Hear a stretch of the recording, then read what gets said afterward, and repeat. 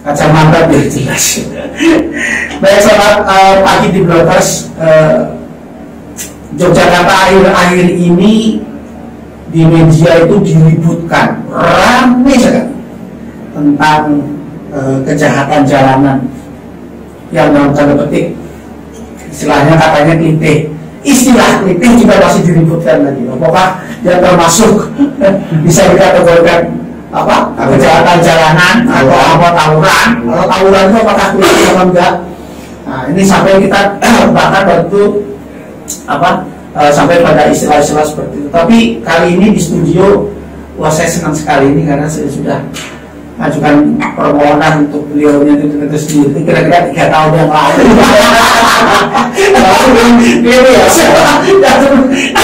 Jadi bersama kita di studio ada namanya Mas kalau saya sih sebetulnya gak usah memperkenalkan diri ya ini sudah terkenal di mana-mana saat saat dari Jogja ini Mas Bapak kabar dari Jogja Police Watch yang dalam beberapa minggu terakhir uh, pendapatnya mengisi di berbagai media massa kebetulan sekarang mampir di tim Blog Channel. Nah, uh, Mas Kamba ini kan, saya panggilnya Kamba ya? ya. Mas Kamba ya? ya? Mas Kamba ini kemarin sampai kedatangan jurnalis kondang dari Jakarta juga untuk mengungkap masalah kritis. Sebetulnya ini Mas Kamba, Jogja Police Watch dan kritis itu hubungannya apa Mas? Ya, terima kasih Mas Budi. Mohon izin baru sempat eh, sekarang karena sebelumnya kesibukan eh, kami di kantor Polri maupun di Jogja Police seperti itu sendiri. Nah, itu yang pertama. Yang kedua, saya juga terima kasih atas undangannya pada siang hari ini bagi undang diskusi bersama hmm. terkait dengan kritik Nah kalau sejarah JPW Jogja Sport itu sepanjang yang saya ingat itu berdiri tahun 2007 mas 2007? Ya 2007 udah lama dulu itu ada almarhum Pak Salam Said hmm. Tahu beliau merupakan salah satu hakim uh, PN uh, Negeri Yogyakarta hmm. yang tapi dia belum pensiun dia melakukan pensiun ini karena pilihan hmm. Nah waktu itu sehingga saya uh, itu dideklarasikan di kantor LBH hmm. di Agus Salim hmm. hmm. 36 Oke okay, ya. Nah kaitannya dengan teliti adalah kami memang konsennya adalah terkait dengan kinerja uh, kepolisian. Oh, kinerja kepolisian. Ya, kepolisian Polda Daerah Istimewa Yogyakarta. Tidak hanya soal misalnya teliti yang eh, lima enam tahun terakhir kami, hmm. tapi sebelumnya juga kami uh, kritik terhadap kinerja kepolisian terkait dengan uh, salah angka, terus aksi-aksi uh, resepsi dari teman-teman uh, pihak kepolisian terhadap teman-teman medis sendiri juga dalam kehadapan itu juga pernah mengalami tindakan uh, dari oknum maupun pihak kepolisian.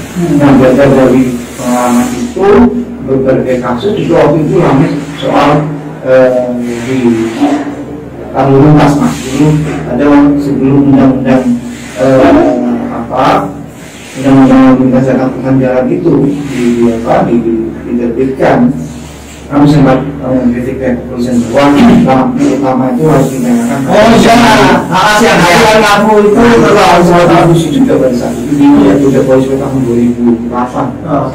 Kami mengundang pihak kepolisian, tapi lagi-lagi pihak kepolisian tidak bersedia. Dulu itu zamannya rasa 16 Polresta itu Pak Numpang ya. Oh iya iya. Ya, jadi sempat ramai dan juga waktu itu ada peristiwa misalnya eh, ada pengendara yang jatuh.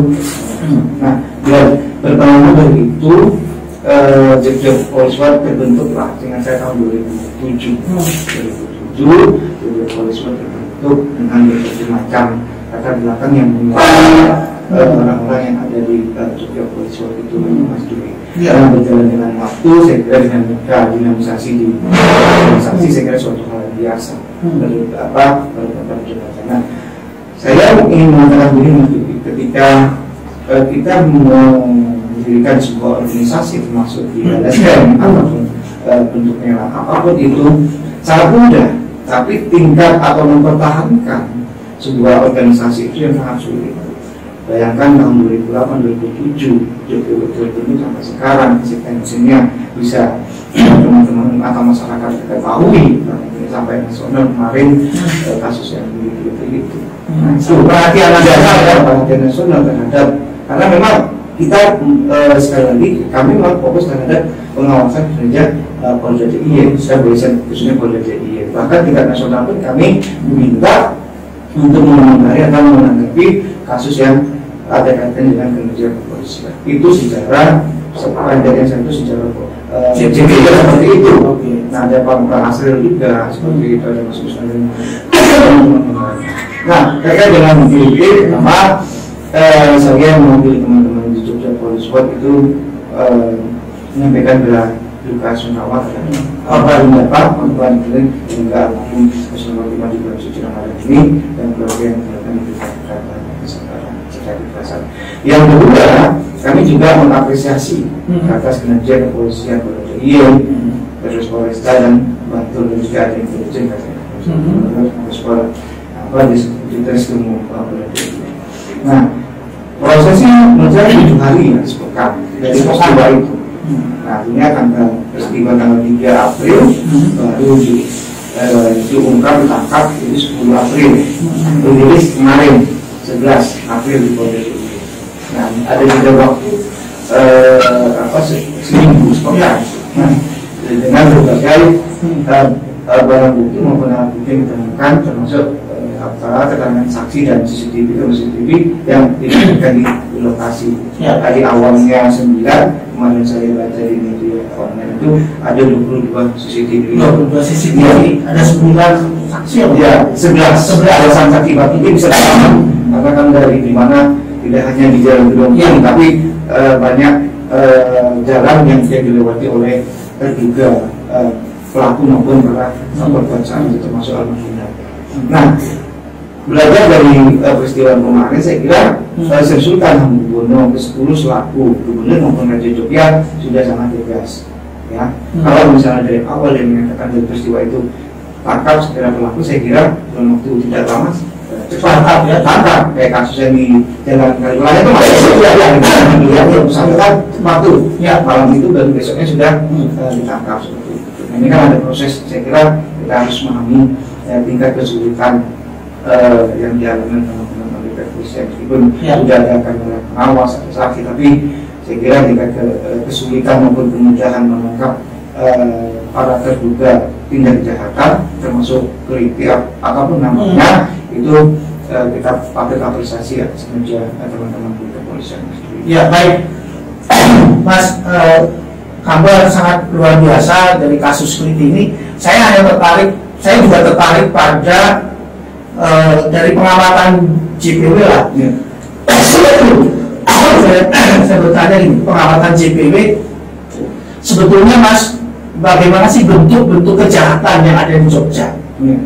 Punya tipikal tersendiri nggak? Karena ini kemudian apakah pihak kepolisian DIY itu punya rumusan tersendiri dalam menangani bentuk-bentuk kejahatan yang ada di Jogja? Iya kalau ya saya ingin menjawab dua dulu pertama saya kira teman-teman di Polda itu kan juga eh, JPO sendiri juga pada saat itu uh, diminta melakukan pengawasan. Pengawasan pun tidak hanya bintang tapi juga sehingga saya apa pulang terus sesuatu oh gitu? Ya sampai masuk ke situ? Masuk ke situ kita melakukan pengawasan. Jadi uh, eh, JPU dilibatkan untuk melakukan pemantauan pengawasan langsung proses setiap proses yang dilalui oleh di, di Polda itu hmm. berbintara, perwira termasuk sesuatu itu uh, eh, JPU diminta uh, untuk pengawasan. Sampai uh, pelantikan mas Oh gitu. Kita, kita diundang. Sehingga saya eh, 10 tahun ke belakang itu kami diminta. Yang kalau sekarang, kalau sekarang tidak. Kenapa? Saya tidak tahu. Silakan kalau yang menjawab. Saya ada teman media, oh, media uh, yang diminta. Saya nggak tahu sampai sekarang uh, apa masih masih mendapatkan uh, pengawas eksternal sebagai pengawas eksternal ya, pengawas eksternal apa institusi polri ya, proses pendidikan segala macam Nah itu yang pertama. Yang kedua soal misalnya rumus saya kira yang bisa menjawab itu teman-teman di Polda, hmm. ya teman-teman khususnya di Reskrimo hmm. atau misalnya terus IP tadi hmm. di, di, di khusus hmm. soal narkoba di khusus itu teman-teman uh, Polda yang bisa menjawab. Saya kira mereka punya pendidikan khusus, pelatihan hmm. khusus bahkan uh, bisa saja mereka dari bagian teman-teman di Polda itu eh, belajar ke luar negeri bagaimana cara menangkap orang, bagaimana meminta, bagaimana mencoba. Hmm. Agar apa kejahatan itu bisa terungkap. Nah, yang kedua soal kejahatan yang di Jogja itu kalau dalam catatan catatan JPW itu lebih kepada yaitu mah kejahatan jalanan. Kejahatan Iya, street, crime ya? Iya, street crime Oh, seperti itu. Yang mayoritas, yang mayoritas itu dilakukan oleh anak di bawah umur, terus eh, pelajar, bahkan eh, ada mahasiswa kalau dalam kasus yang kemarin dapat ada juga pengangguran. Nah, dewasa kan tentu beda kalau kita eh, merujuk pada undang-undang sistem peradilan anak, Iya. SPDA-nya. Sistem peradilan anak. Kalau misalnya dewasa itu contohnya 10 tahun, maka anak di bawah umur itu setelahnya majelis dan hakim mungkin kalau hakim kan hakim tunggal tuh Iya. anak kan hakim tunggal itu eh, tidak bisa lebih daripada itu ini problem menurut saya. Hmm. nah maka dorongannya adalah eh, revisi undang-undang sistem peradilan anak saya ah, sebentar mumpung saya belum tahu. ini Iya. kan harus ada revisi revisi undang-undang undang-undang sistem peradilan pidana anak kenapa harus direvisi? Ya karena memang udah nggak cocok atau gimana? Tidak cocok lagi dalam situasi kejahatan yang selama ini terjadi. Maksudnya maksudnya ketika misalnya ada kan berpikir eh, eh, se- eh, apa sekelompok eh, anak anak-anak remaja ya, remaja gitu ketika melakukan kejahatan oh nanti lalu kita dihukum segini nih. Bahwa ada dalam proses eh, diversikan bisa. Iya. diversikan eh, di luar di luar eh, hukum. Seperti Hmm. itu bisa sangat bisa. Tapi itu vibrasi itu sangat salah satu sangat sangat sangat ketat sekali. Jangan sampai nanti migrasi itu disalahkan contoh kasus yang Kevin korban dunia. Kalau jadi ada keluarganya kan tidak tidak ada menolak ada nah, ajukannya migrasi sehingga kan ponis kemarin satu tahun enam bulan. Seperti itu nah, salahnya sangat ketat sekali. Kalau misalnya itu nanti ada yang melanggar. Memang eh, migrasi itu menjadi kewenangan dari teman-teman misalnya mengajukan ini loh pihak kepolisian maupun eh, dari lapas anak atau lapas anak. Hmm. seperti itu. Termasuk keluarga maupun nah keluarga tersangka kalau sekarang itu kita masih apa UU sistem peradilan anak dalam catatan JPW masih dipakai atau masih. gimana? Masih yang sekarang belum belum direvisi ya? Iya, belum revisi undang-undang sistem peradilan pidana anak. Nah, itu kan Ini menjadi satu faktor Iya, salah satu salah satu penghambat Penghambat, oh. penghambat eh, di di apa polisi pengadilan Mas Dwi. Itu tadi saya bilang tadi, kalau misalnya dewasa 10 tahun padahal sama-sama pelakunya, sementara anak itu ya SMA-nya jadi lima tahun belum dipotong tahanan, Hmm. belum dimas dipotong eh, kelakuan dari segala macam. Baik, sekarang begini, eh, apakah eh, pemutusan hukuman Iya. bagi teman-teman yang katakanlah yang melakukan kejahatan jalanan itu street crime yang dalam tanda petik anak-anak muda itu atau kritilah dalam tanda petik itu Hmm. itu yang diberikan kepolisian itu sudah memberikan efek jerah atau belum dalam pengamatan Iya teman-teman eh, di polisi misalnya pol Hmm. eh, dari polda polres polsek itu sudah misalnya menangkap nih hmm. nah, menangkap dari 10 kan belum lihat dari tingkat kejahatannya para Iya. segala macam Ah. nah ketika diproses di pengadilan Hmm. itu menurut saya belum memberikan efek jerah kenapa karena eh, hukuman atau polisi itu tidak maksimal belum memberikan efek jerah itu tadi mas Dudi Hmm. ada sengaja misalnya eh, mengotaki misalnya eh, meracuni eh, orang-orang misalnya ini loh kamu boleh kok eh, melakukan tindak pidana. Ini bahasanya ya untuk anak di bawah umur silakan eh, apa melakukan kejahatan karena eh, undang-undang kan di bawah di bawah umur tidak diproses hukum tidak di penjara kalaupun di penjara minimal seperti itu mas. Itu kan suatu apa namanya suatu pemikiran yang keliru. Apa pun alasannya siapa pun melakukan tindak kejahatan itu kan harus dihukum sesuai dengan aturan yang berlaku kalau bicara anaknya sistem peradilan pidana anak dan yang kedua perlindungan anak kadang-kadang juga kita masih debatable Hmm. apakah misalnya pelaku eh, ketika bahasanya ketika anak berhadapan dengan hukum Iya. KBH itu anak berhadapan dengan hukum terus padahal dia me- apa membunuh Hmm. menghilangkan nyawa orang lain terus menyebabkan luka berat cacat mohon maaf seperti itu itu kan tidak bisa menurut saya ya eh, tidak bisa ditolerir Hmm. bagaimana seorang anak yang tidak tahu menahu Hmm. dibacok di pinggir jalan, dicuri, Hmm. dihantam gear, Hmm. bahkan ada yang meninggal dunia. Maka kita bicara yang cacat aja lah, cacat permanen atau luka permanen. Itu kan kasihan mas. Hmm. Yang seharusnya bisa menulis, dia harus sekolah, tapi kan nggak bisa menulis kan dia manual apa. Itu yang yang, eh, yang yang kedua. Yang ketiga adalah ah, ketika di proses pengadilan memang kita eh, karena anak ya mas, anak itu kan sidang tertutup kecuali ponis. Hmm. Kalau ponis kan terbuka untuk umum. Nah itu kan kita kesulitan mencari fakta. Fakta di persidangan itu pada saat proses eh, pembacaan dakwaan sampai eh, menjelang eh, putusan kalau putusan ke polis itu biasanya terbuka untuk umum mas untuk sidang anak Iya. kecuali dewasa kan terbuka untuk umum dari proses pembacaan dakwaan hingga putusan nah itu yang kita sulit jangan sampai nanti anak ataupun saksi dari korban ini melalui intimidasi nanti kamu ngomong ini loh Iya. nanti kan tanya hakim kamu tanya eh, apa jaksa Hmm. tanya pengacara dari pelaku Itu udah diarahkan itu. Nah itu kami eh, tidak bisa mengatakan sudah diarahkan atau tidak, tapi kan itu kekhawatiran pasti ada. Nah itu potensi untuk di itu kan sehingga ketika eh, kesaksiannya itu menjadi rendah, kualitas kualitas kualitas kesaksian. Itu karena berarti gini loh, maksudnya anak, anak itu yang dimasuk dalam ranah peradilan atau sidang secara psikologi sudah Ya bisa kan itu kan problem. Nah itu harus dilindungi, harus mendampingi pengacara dari eh, korban. Ya kan bisa aja, benar enggak? Dulu.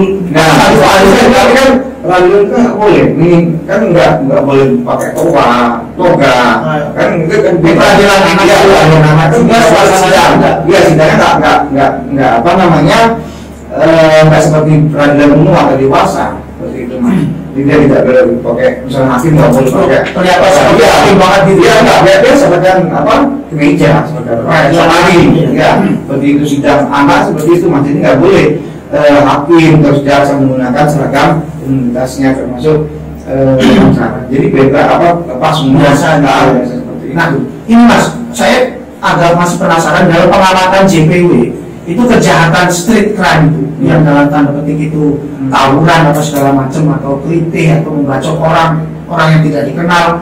Atau ya itu sebetulnya dalam pengamatan ini kan sudah berlangsung lama nih. Betul. Sam- lebih dari 10 tahun lah sudah ada. Tuh. Nah, kalau menurut panjenengan itu terorganisir atau tidak gitu? Karena kalau misalnya kenapa sih itu tidak bisa di di apa diberantas gitu loh? iya bisa aja misalnya eh, sekarang kan media hari ini mbak saya baca itu kan polisi sudah punya data-data tuh mas ada puluhan geng-geng pelajar itu mereka seharusnya dari dulu sudah sebenarnya Sudah ada dulu. Iya, ada. Sebenarnya kalau mau di eh, antisipasi dari awal di sejak sejak dini, saya kira itu sangat bisa.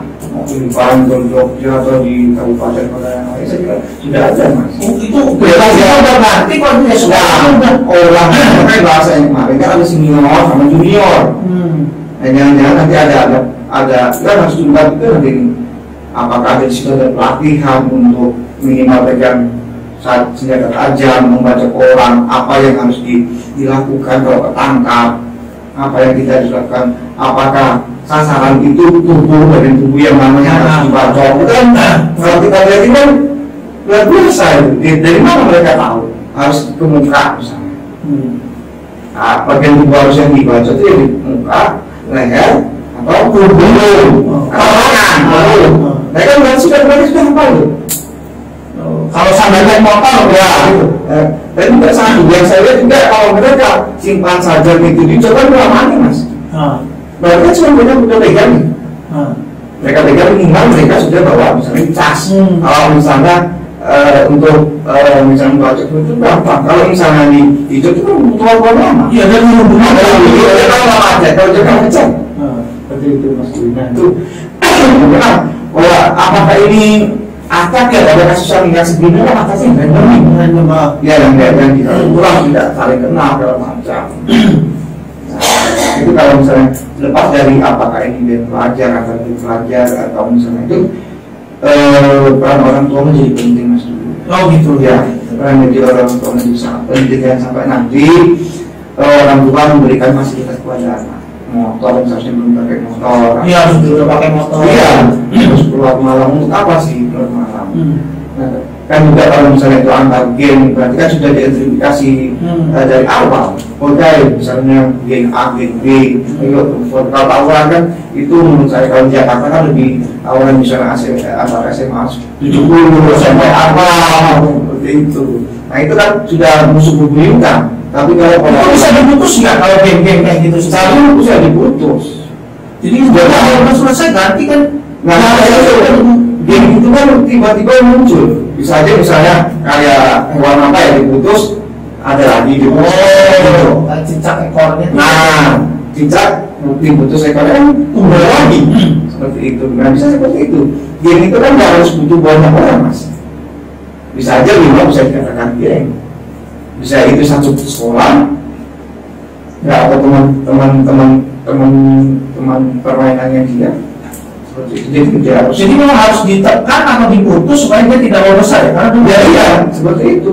Nah, kan maka senioritas senior para seniornya itu harus di, diundang pemerintah daerah, kabupaten kota bersama pihak kepolisian dan tanggung jawab sekolah bersama dinas pendidikan. Itu. Iya. Karena kemudian mereka berkumpulnya di komunitas pelajar ya. Nah, ya itu bisa jalan di Warmindo. Tapi kan itu satu komunitas, maksudnya dalam satu komunitas Iya, pelajar, pelajar. Banyak seperti itu. Bisa dia senior itu dulu mantan lulusan yang di sekolahan, Hmm. atau bisa sekolah yang lain. Ayo kumpul nih. Hmm. Nah, atau dia didragu dulu nih, kamu masuk e, geng saya, misalnya seperti itu, kamu harus harus melakukan A, B, C, D. Kalau enggak ya kamu nggak bisa minimal kamu bisa e, sebagai e, joki atau misalnya kamu saya di saya di senior di, di jokinya, kamu sebagai junior itu di belakang. Aduh, kan sedih juga ya, Jakarta sebagai kota pelajar, iya. terus kota budaya, kota wisata, bahkan kemarin sempat viral juga dibuat semacam di konten TikTok itu dilakukan karena gara-gara Gara-gara seperti itu. Halo teman-teman di Blogers tidak terasa 20 menit kita sudah berbincang ini kan? Ini Mas Baharudin Kabar selaku pegiat CPW Jogja Police Watch gitu tentang berbagai kejahatan jalanan yang ada di Yogyakarta. Teman-teman sekalian ada beberapa catatan yang kami dapatkan bahwa bahwa kejahatan jalanan atau street crime menjadi satu tipikal kejahatan yang ada di Yogyakarta. Yang dilakukan oleh para anak-anak remaja, anak-anak remaja. Dan kejahatan ini timbul dari apa dalam satu komunitas yang namanya komunitas pelajar. Kemudian yang, yang berikutnya adalah catatan kami adalah bahwa ini terjadi sudah bertahun-tahun yang lalu. Sebetulnya permasalahan ini bisa diputus sebetulnya atau dialihkan atau ditekan atau seperti apa. Jadi memerlukan eh, memerlukan peran kita semua termasuk terutama di, eh, Orang tua. orang tua dan pendidikan. Baik masih banyak lagi yang sebetulnya bisa kita ungkap apakah terorganisir atau tidak terorganisir atau sebagaimana sebenarnya tapi kita akan ungkap dan waktu. Begitu teman-teman sekalian sampai ketemu Terakhir pas gimana? atas duit ya, jangan sampai geng-geng pelajar ini dimanfaatkan untuk kepentingan politik kesalahan. Ya, sih, sih, sih, sih, sih, sih, menarik ini, menarik ini. Sangat bisa, ini sangat tadi ya. Menurut, menurut Mas Kamba ini jangan sampai jadi pelajar dimanfaatkan untuk kepentingan politik. Wah, tahun berapa Mas besok? Ya? Ini yang bisa ya? Sangat bisa, Bisa ya? sangat bisa dimanfaatkan oleh eh, mas untuk kepentingan politik sangat bisa. Aduh, PR lagi teman-teman sekalian. Iya, karena kan ada tuh misalnya yang dulu zaman dulu tuh ada dua Oh. yang itu kan berafiliasi ke, Oh. ke partai politik Betul, tertentu. Itu sangat bisa dan dimanfaatkan oleh orang-orang yang seperti itu. Aduh, tambahan PR. Demikian, sampai ketemu lagi. Salam